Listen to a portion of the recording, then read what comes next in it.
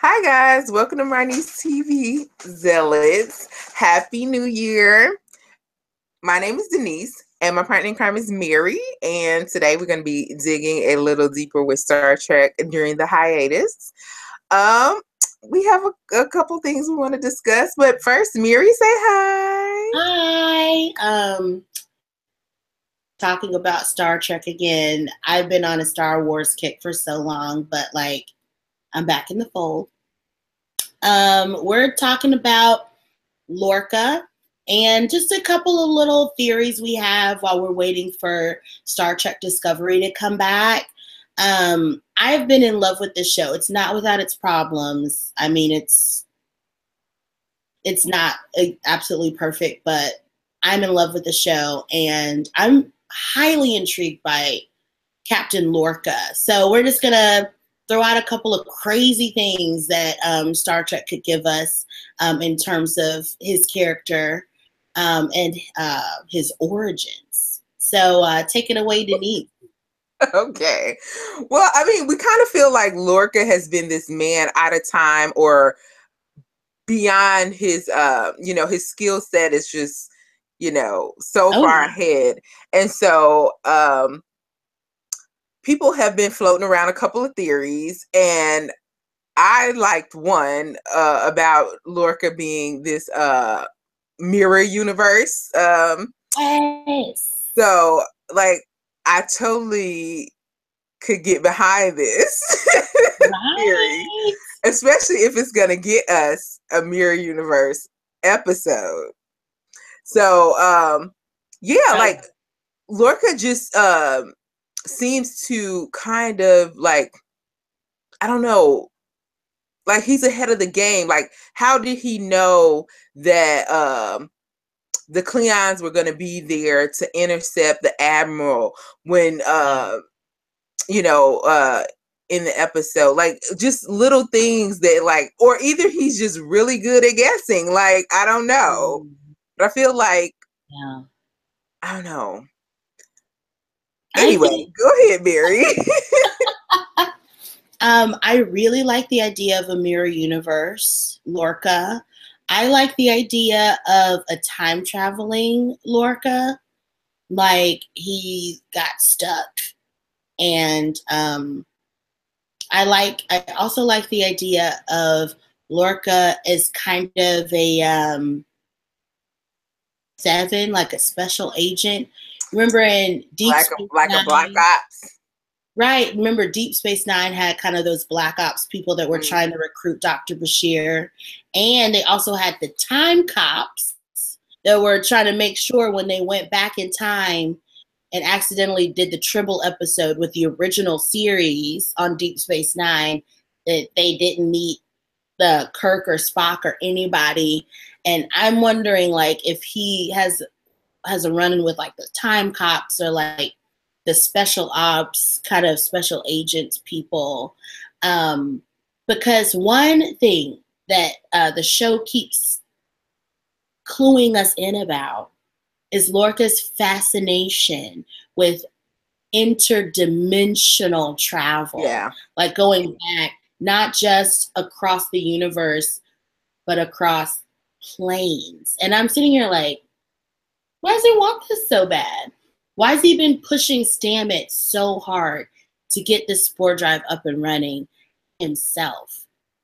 Another thing I also believe is that the spore drive doesn't just affect the one person in the cage, it affects everyone. And so um, I feel like everyone's going to see some kind of long term effects because of the spore drive. I can um, agree with that. I feel like it would make sense that it would. Right? I man, they they have so much to deal with. And at first, I was kind of intrigued by like, oh well, maybe you know, we come back to Star Trek Discovery, the ship will be so far away. It'll be kind of like Voyager, like, oh, we're so far away now, we have to slowly make our way back home. But if they're in a different dimension, like they could just be shifting back and forth on their way home. Um, but yeah, those are our theories. I mean, I yeah, I kind of feel like that's what where they are in between yeah. dimensions, and with that, it would it would certainly um, allow us to not have be affected by that that um just that 10 year gap. Exactly. That's why i mean we know that the discovery is a new ship. It's a prototype. There were only two ships like it. Um, stamets and his partner each had a ship made for them to test the spore drive. So they're kind of messing with the timeline like well, if these ships were destroyed, then uh, the Starfleet wouldn't make another one like it. So that's one reason they can get around. Oh, it's only ten years in the future. But well, I, there was a dis- mention of uh, discovery in the original series. So the right. ship, they obviously re- remade the ship. Right. That's very. But something had to happen where, because I mean, it's too close. So they have yeah that Lorca and his team. Exactly. I mean, they, I don't know. Or we'll see how they fix it. Like I'm interested to know. right. And there's something about Michael Burnham that he is obsessed with. Right? That I feel like as a time cop or as someone who knows the different dimensions, he needs her for something. And it scares me so much. Maybe she was his wife in the other mirror universe. Ooh, stop. Don't make me ship them. Look. No, I, I, it's not even my idea. Like I, I got okay. it from fanfic. but it okay. popped in my head. I'm like, wait a minute, that did she write a fanfic about that? Oh my god! Yeah, I, I got it from fanfic. Like she was his wife from another time.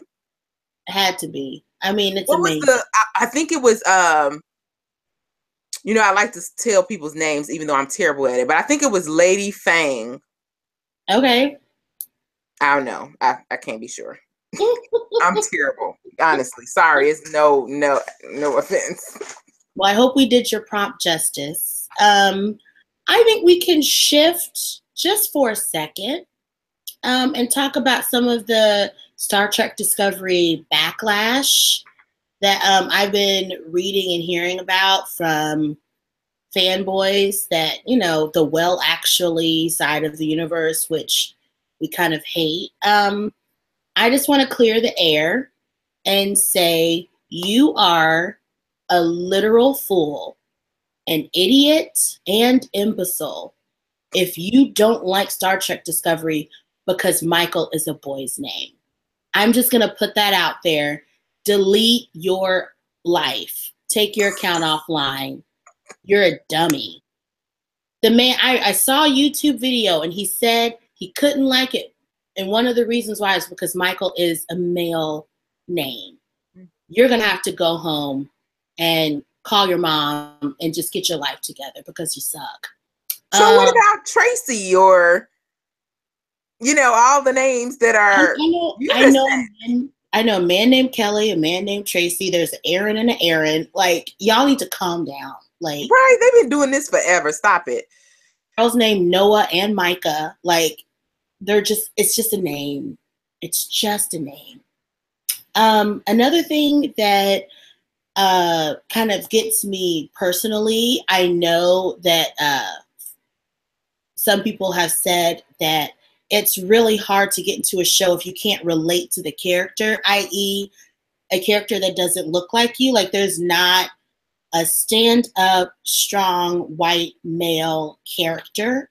Um, like Lorca is super shady. Like he's not necessarily a good guy. You know, like there's not someone that we can look to, we that they can look to um, as a hero for them where I'm really happy that we have Michael Burnham as a black female protagonist. Um, to that, I say, I see your pain, but also like she is one of very few black female protagonists and you can just go watch the other 97% of television shows that have white male protagonists and enjoy yourself. Give us one show. We want one. So we have one y'all chill. Chill. keep doing it. I can't. All right. That was it. I'm so sorry. That I'm sorry. I just had no. I, that was great. That was amazing. Um, I don't even think I need to add to that because, like, she said it beautifully and everything. Ah, I feel so much better now. Woo. Woo. Okay, guys. Well, let us know your theories. Like, I'm, I'm really, um, like I said, I'm really excited to see how um Lorca is what what's gonna shake from that tree and what how uh Michael is involved whether it's from a mirror universe or whether he's from black ops or whatever the you know whatever it comes out to be um i just want to know like i i knew that he was in love with her skill set and everything right. but i don't know if it's like some he's trying to go a specific place and he needs her for a specific thing. Right. like, that's what i want to know. It's weird man. But anyway, guys, that is it for this uh, episode of our little recaps. And um, we'll see you next time. I think next week the episode is uh the the new episode comes the next episode comes. Yes, I'm so excited. So we'll be back next week to recap for you guys. Have a great night. Bye.